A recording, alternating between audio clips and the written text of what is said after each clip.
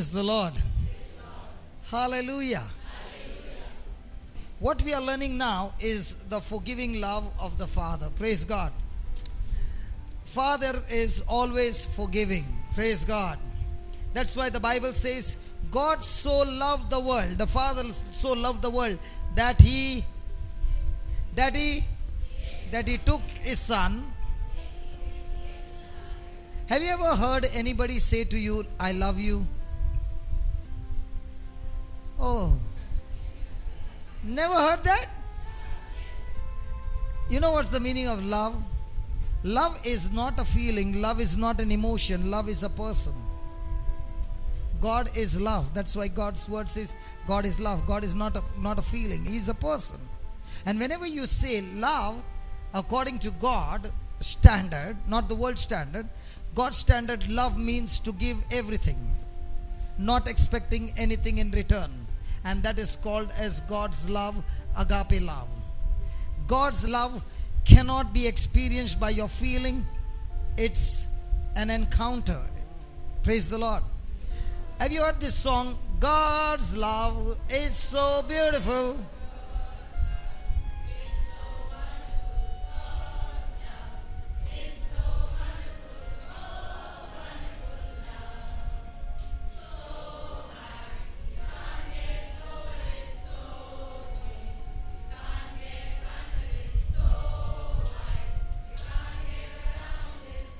Oh, I don't know what's God's love. You can sing that song a hundred times and still not experience God's love. Because only when you experience God's love, you are able to forgive. Forgiveness cannot come without you experience God's love. And if anybody wants to experience God's love, that person can experience through 1 John chapter 2 verse 4. 1 John chapter 2 verse 4. Anyone who keeps my word in him is my love perfected in him. Praise the Lord. Hallelujah. Hallelujah. Just read that. 1 John chapter 2.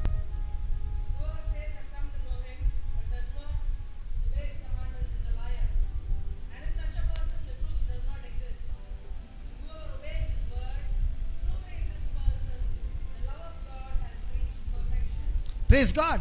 So, the more and more you are a person who is a doer of the word of God, you will experience the love of God perfected in him. Now, for example, when God created Adam, the Bible says he created him in his likeness and image and gave him the whole Garden of Eden. Right? Come on, right? Why do you think God created Adam? He created Adam to have relationship. And he poured his love into Adam. And he made Adam just like him.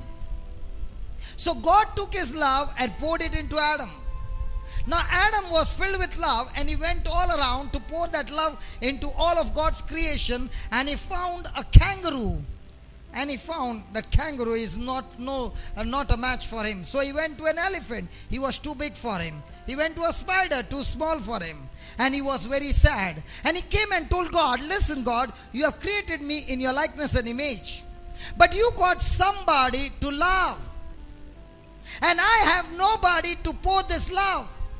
And only when I will begin to pour this love in somebody, then only I can be like you. That's why he was sad. Because when there is love in you, you cannot keep it for yourself. You will look out for opportunities or make opportunities to pour something that you got in somebody's life that will make that person's life beautiful. Hallelujah. If you ask me, brother, why do you come here? I don't get a single rupee by coming here. But I come here because it's a great opportunity to pour love that God has given me. So, out of the 31 days in a month, 28 days I am traveling, pouring love from city to city because the day I tasted this love, I cannot keep this treasure with me. Day and night, morning, afternoon, night, I am doing what? Giving. When you are flooded with love, all that you will think is to give. And that's what God did to Adam. He gave. And when love began to flow into Adam, Adam had dominion over everything. What is the Lord teaching us? As long as you are encountering or experiencing God's love, you will have dominion over the powers of darkness. You will have dominion over your trials. You will have victory over every problem and trouble that comes against you. Only when you are operating in God's love, if you are operating in emotional love. For example, the love between parents and children, the love between brothers and sisters, the love between uh, the spouses. I'm not talking about those love. I'm talking about God's love, agape love, where the love is not depending on circumstances, it's not depending on performance, it is one way love. Whether you love me, whether you do good to me, or you don't do good to me, my performance uh, for you will still be doing good. That's God's love. Can we give the Lord a big hand for that? No, no, no. God did not see us doing one good thing to save us. No. The Bible says, even when we were his enemies, he sent his son Jesus to take our place on the cross and shed his blood so that our sins be forgiven and we could be saved. That's love. We, we always want to love those who love us. Come on. But God's word says the real Christian is a person who loves those who hate you. And this kind of power will come into you when you encounter God's love. And the only way you can encounter and experience this God's love is by obeying God's word. Now, please understand Romans chapter 5, verse 5 says, God has poured this love into everyone who believes in his son Jesus through the Holy Spirit.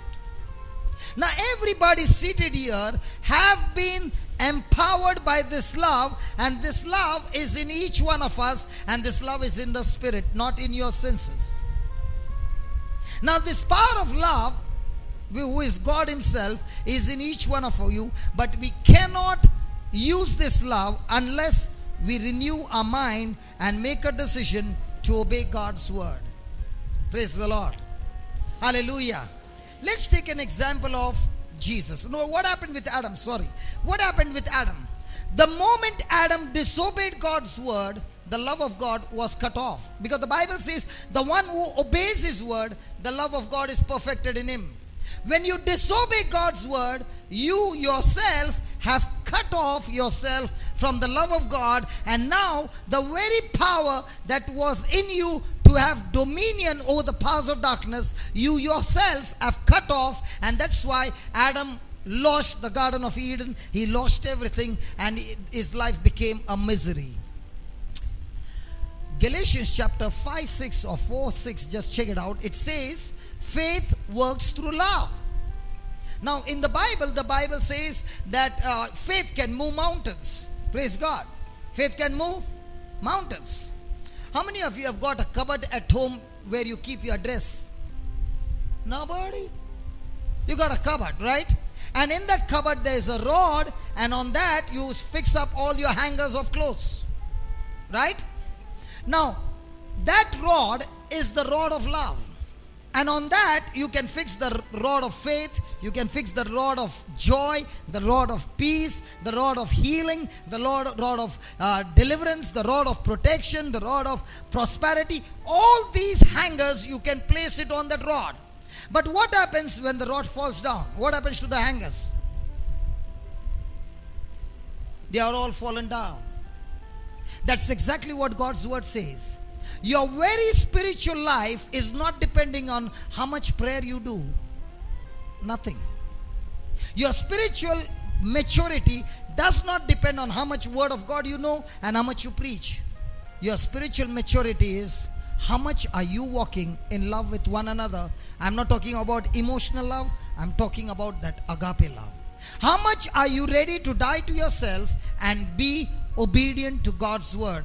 The level of your love walk with one another is the level of the anointing that will flow into your life and you will see manifestation of God's power every day of your life. Every day. Your life will never be normal. It will be supernatural, superpower when you are walking in love. So, what is the devil's job? The devil's job is to get you out of love, to get you into bitterness, to get you into offense, to get you into all kinds of negative emotions. And if he can get you into that, the fuse is blown off. So, in a day, how many times does your fuse get blown off? Most of the time. And now, when you're praying, there is no power because the Bible says faith works through love. That's why before Jesus could leave this planet Earth, he gave us only one commandment. And what was the commandment? Love. What are we doing? We have got a beautiful praise and worship. We got beautiful teachings. We got beautiful praying. We got beautiful intercession. We got everything. But when it comes to love, we don't see love. We see love based on performance. We see love based on our works. Is it right? Hello, is it right? If you want to check jealousy on a scale, you will get maximum jealousy in the body of Christ, not outside. You'll get maximum offense, not outside, in the body of Christ. Because we have been educated with everything, but the source of all power that comes from love, that's where we are lacking. So, the very moment the fuse is blown off, none of these switches will work. Praise God.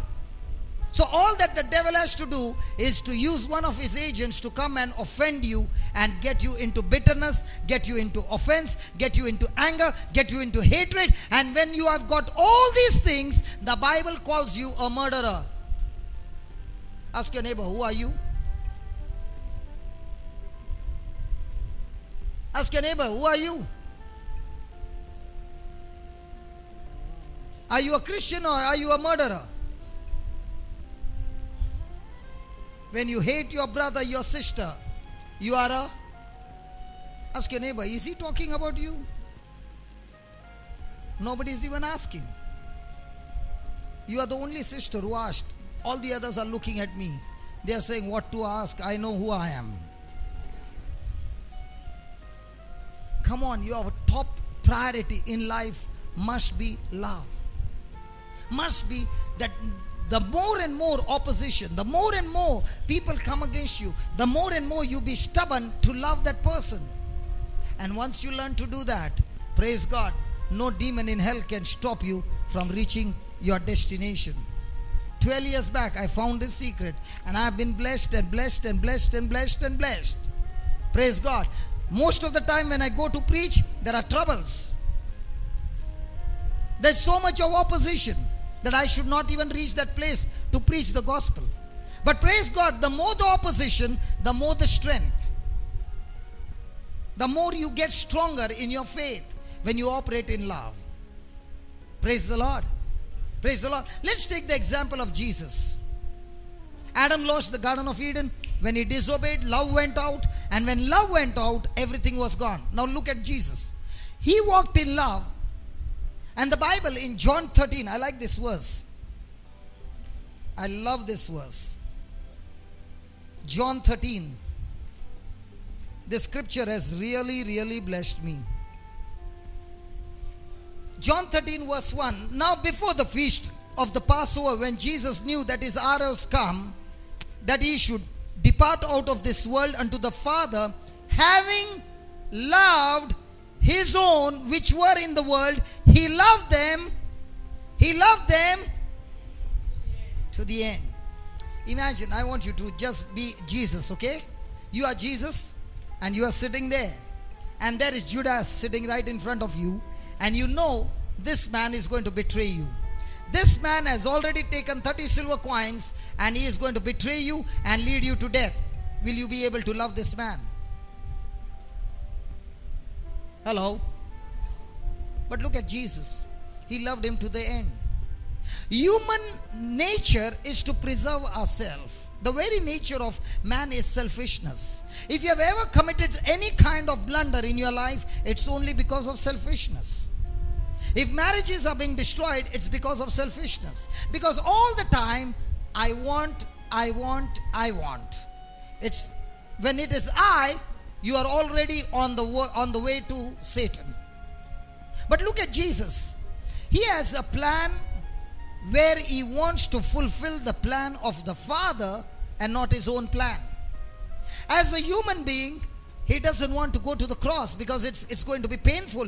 He is saying, Father, if it's your will, take this suffering away from me. He doesn't want to be separated from his Father. And yet he says, Not my will, your will be done. And he is ready to go through the cross and obey his Father even unto death. What happens? He gets victory. So, what is love? When you are a doer of the word of God, you experience love, and God's purpose and God's plan will be accomplished in your life. How many of you believe God's plan is better than your plan? And how many of you believe your plan is better than God's plan? Praise God. Praise God. Now, now watch this. In um, 1 Peter chapter 2, verse 18 onwards, there's a beautiful word in the RSV Bible which I did not find in the other Bible. Verse 18 onwards. S- Yeah, servants. Servants, be submissive to your masters with all respect, with all respect, not only those who are kind and good hearted, but also those who are harsh with you. Then, For one is approved if, he is mindful of God, he endures pain while suffering unjustly. Aha, what? I like this word. Credit. Say that credit. Say that credit. Say that again. What credit is it when you do wrong and you are beaten for it? you take it patiently. You take it patiently. Now listen, uh, baby, have you done ever musti? Some musti you have done? Has mummy beaten you? Okay. When you have done musti and mummy beat, beat you, did you open your mouth? No. You said, Mommy, I'm sorry. You didn't say that? Come on, did you say? Oh, you are not even saying sorry. God bless you.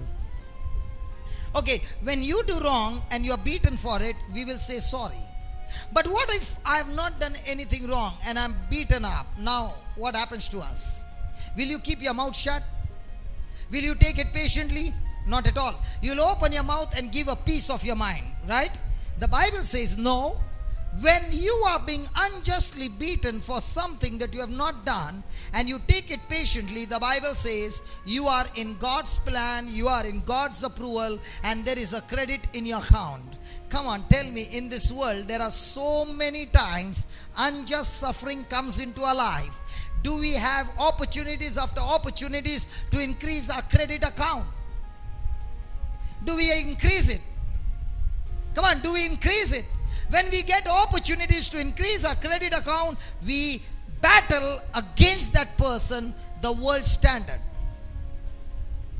But if you can remember and be mindful of this one thing that I had made so many mess and my father in heaven forgive me of all the mess and here is a brother or sister who has come against me and done such a small mess if I can understand the forgiving love of God who has poured an ocean of mercy and forgiveness in my heart, and all that He's asking me is to give a small pinch of forgiveness to the other person, then why am I finding it difficult?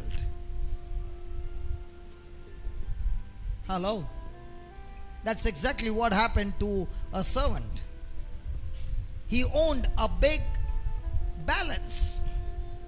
And the master came and he said, Have mercy on me. And the master said, Okay, I, I forgive you and I cancel all your debts. And the same servant was let loose, and then he found another servant who owed money. Just might be 20 rupees. And this fellow was uh, uh, forgiven of lakhs and lakhs of rupees. And when he caught that servant, he beat him up and he said, Give me the money. And the, when the master came to know, he said, When I could forgive you of so many things, could you not go and forgive the, your fellow brother of that small thing? What happened to him? he was put in the prison and he had to pay everything and he lost everything in life. The same thing happens with us. The Heavenly Father has forgiven us of so many things, and all that He is asking us is to forgive our brother and sister, which is so small. If the Father had not to forgive us, we were all destined to go to hell.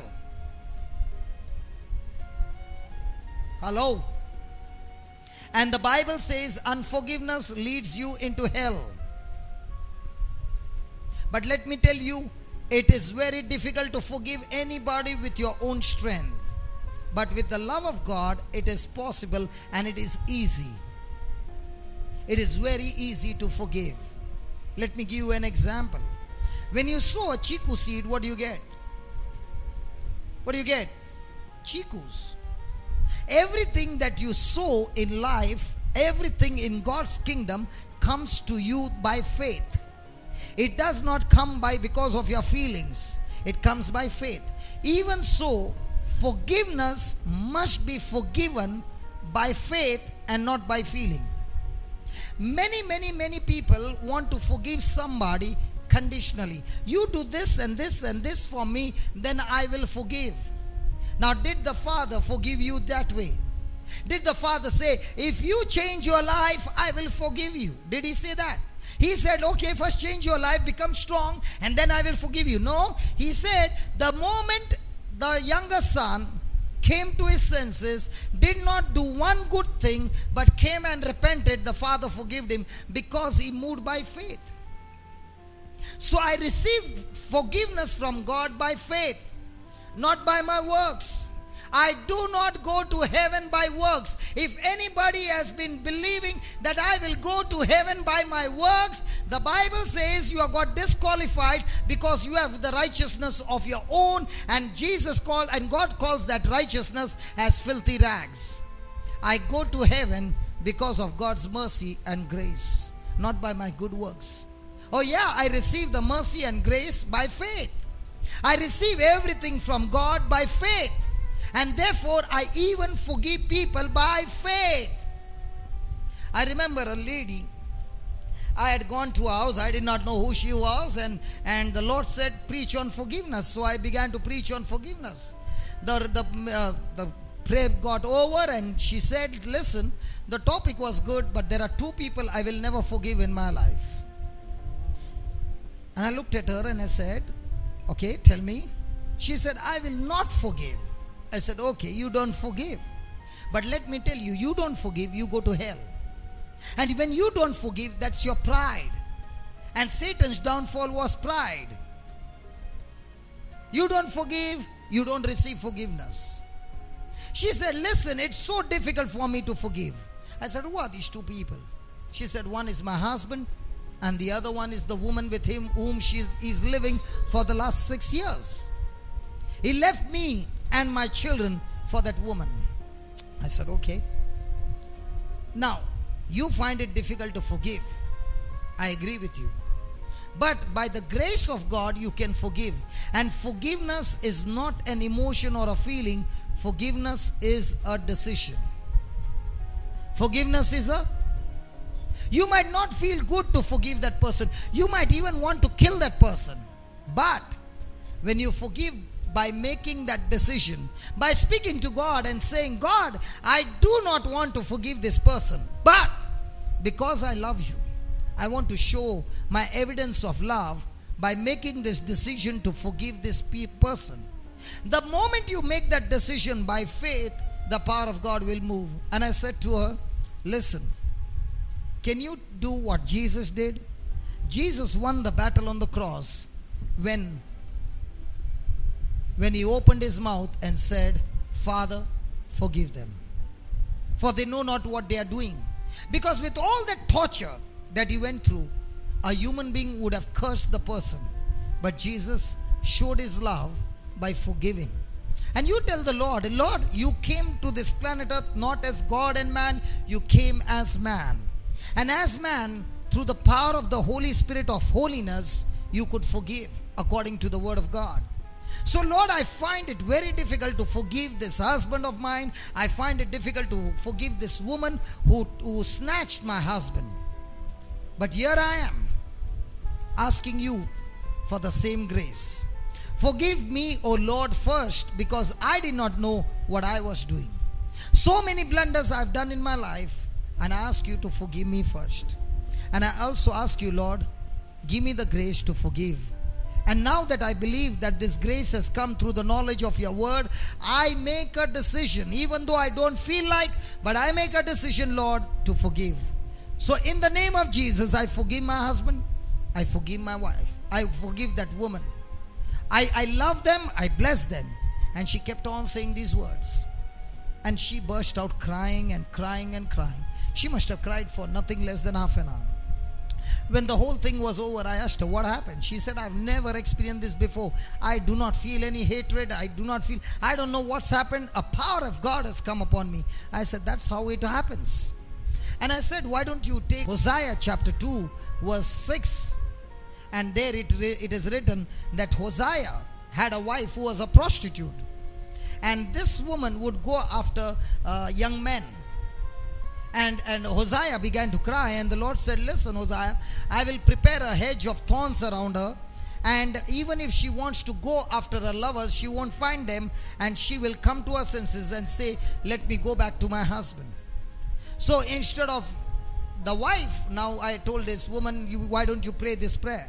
And she began to pray this prayer day and night, and in three months' time, there came a call from her husband for the first time in six years, and he said, I want to meet you. Where can we meet? And she said, Why don't you come home? And he came home and she opened the door and she was filled with joy. And, and the husband did not see any hatred or anger. And he said, Are you not angry with me? And she said, No, the love of God in me does not allow me to have anger towards you. I love you. And let me tell you one more thing. If you have got any child through that woman, that child is my child too. I am the mother of that child. And let me tell you, I love that child as well. And I love that woman as well. And I forgive you both as well. And the husband burst out crying and he said, Listen, the woman just found another man and she has gone and he has she has taken another man and they have gone and I'm left alone. And can I come back home? She said, You are always welcome. Please come home. And today they are living together. How did it happen? With the forgiving love. Praise God.